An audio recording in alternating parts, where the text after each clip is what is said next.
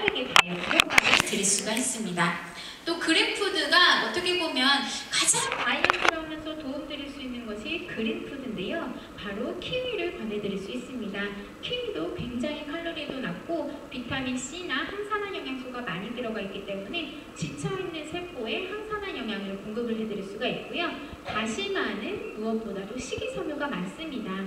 그런데 이런 다시마나 식이섬유를 드실 때에 주의하셔야 될 것이 있어요. 많이 드셔야 됩니다. 무엇일까요? 물. 맞습니다. 물입니다. 식이